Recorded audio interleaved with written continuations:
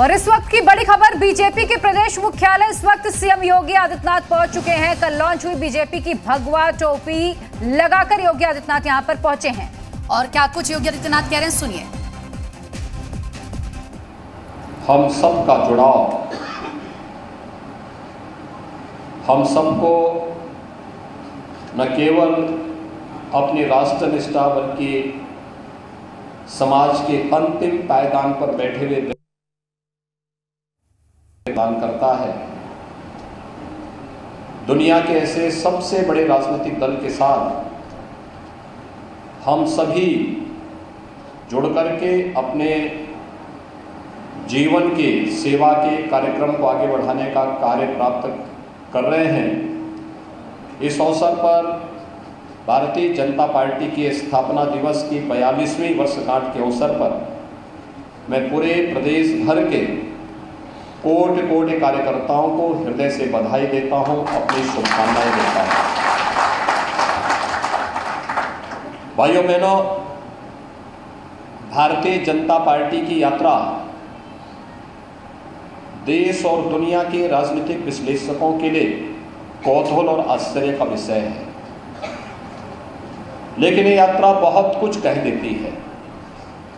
राष्ट्र के प्रति हम सबकी एक अविच्छिन्न निष्ठा अपने मूल्यों और आदर्शों के प्रति हमारी समर्पण का भाव और समाज के अंतिम पायदान पर बैठे हुए उस व्यक्ति को, जिसे पंडित दीनदयाल उपाध्याय जी ने जिसके लिए अंत्योदय की बात की थी, उस तक शासन की योजनाओं को पहुंचाना हम सबके ध्येय, जीवन का एक ध्येय है। और उस ध्येय को प्राप्त करने के लिए जब हम सब एकजुट होकर के कार्य करते हैं तो वह प्रत्येक नागरिक के,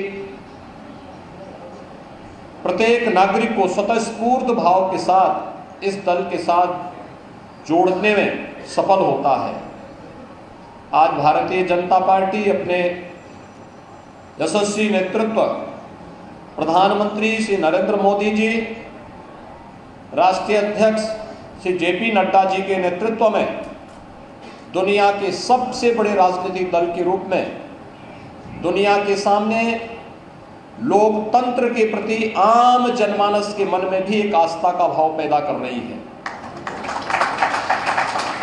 याद करिए, भारतीय जनता पार्टी अनेक उतार चढ़ाव की इस यात्रा को आगे बढ़ाते हुए कार्य की है। उन्नीस में जब पहला आम चुनाव इस देश के अंदर हुआ होगा, तब भारतीय जनसंघ की स्थापना होती है। भारतीय जनसंघ के पीछे, स्थापना के पीछे का उद्देश्य भी यही था कि हमें सत्ता की राजनीति नहीं, बल्कि हमें भारत के प्रति समर्पण का भाव पैदा करने वाले लोगों को एक राजनीतिक दल के रूप में आगे बढ़ाने का कार्य करना है। और उस समय जब तत्कालीन सत्ताधारी दल भारत की अखंडता के साथ खिलवाड़ करके कश्मीर को भारत से अलग करने की साजिश कर रहा था, उस स्थापना काल से भी अगर बलिदान देने की आवश्यकता पड़ी यानी एक वर्ष के अंदर ही अगर किसी दल ने उस समय अपना बलिदान दिया था तो भारतीय जनसंघ के संस्थापक अध्यक्ष डॉक्टर श्यामा प्रसाद मुखर्जी ने कश्मीर के लिए अपने आप को बलिदान कर दिया था। और जब भी आवश्यकता पड़ी, इस देश के अंदर आज़ादी का, के बाद का सबसे बड़ा सांस्कृतिक आंदोलन से राम जन्मभूमि के प्रति भारतीय जनता पार्टी की समर्पण का, भारतीय जनता पार्टी के कार्यकर्ताओं के समर्पण पर कोई संदेह नहीं कर सकता है। और यही नहीं, जब भारत के लोकतंत्र का गला घोटने का कार्य हुआ तो लोकतंत्र को बचाने के लिए भी अपनी दलीय निष्ठा पर ऊपर उठ करके लोकतंत्र के प्रति हम अपने समर्पण का भाव व्यक्त करेंगे। भारतीय जनसंघ को उस समय विसर्जित करके, भारतीय जनता पर उस समय जनता पार्टी का हिस्सा बना करके, भारतीय जनसंघ ने लोकतंत्र के प्रति और भारत के प्रति अपनी निष्ठा को भी देश और दुनिया के सामने व्यक्त किया था। जनता पार्टी के विफल प्रयोग के बाद, जब 1980 में फिर से जनता पार्टी से अलग होकर के एक नए दल के रूप में अपनी यात्रा को प्रारंभ करने की बात हुई। तो भाइयों बहनों, वह तिथि 6 अप्रैल 1980 थी, जब भारतीय जनता पार्टी के रूप में इस एक दल का गठन होता है।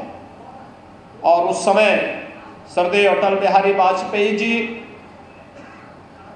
श्री लाल कृष्ण अडवाणी जी और भारतीय जनता पार्टी के उस समय के उन सभी महापुरुषों ने इस नए दल को देश की भावनाओं का प्रतिनिधित्व करने वाले दल के रूप में स्थापित करने का जो संकल्प लिया था तो योग्य सबसे बड़ी महामारी के दौरान आपने पूरे देश के अंदर इस बात को देखा है 80 करोड़ लोगों को फ्री में राशन की सुविधा उपलब्ध करवाने का कार्य किसी ने किया तो मोदी सरकार ने किया। भाइयों बहनों, इस सदी की सबसे बड़ी महामारी के दौरान 135 करोड़ लोगों के जीवन को कैसे बचाया जाना चाहिए? दुनिया के अंदर कोरोना प्रबंधन का एक मॉडल प्रधानमंत्री मोदी जी के नेतृत्व में देश और दुनिया ने देखा है। फ्री में टेस्ट, फ्री में उपचार फ्री में वैक्सीन एक करोड़ वैक्सीन की डोजेज अब तक देश के अंदर उपलब्ध कराई जा चुकी है। ये फ्री में है, जबकि दुनिया के अंदर इस वैक्सीन की भारी कीमत लोगों को चुकानी पड़ रही है कोई सरकार फ्री में अपने लोगों को वैक्सीन नहीं दे रही है, सिवाय भारत सरकार के। और 80 करोड़ लोगों को फ्री में राशन की सुविधा भी। हर महामारी की अपनी एक सबसे खतरनाक उसका साइड इफ़ेक्ट रहता था और रहता था कि बीमारी से जितनी मौतें होती थी, उससे कई गुना मौतें भूख से होती थी। लेकिन पहली बार हुआ, बीमारी से कम से कम मौतें हो, हर एक जीवन की रक्षा करने का भरपूर प्रयास हो, लेकिन साथ साथ भूख से कोई मौत न हो। और इसके लिए फ्री में राशन की सुविधा उपलब्ध करवाने का कार्य और आत्मनिर्भर भारत की परिकल्पना को साकार करने के लिए उठाए गए कदम। यह आज नए भारत की नई तस्वीर हम सबके सामने प्रस्तुत करता है।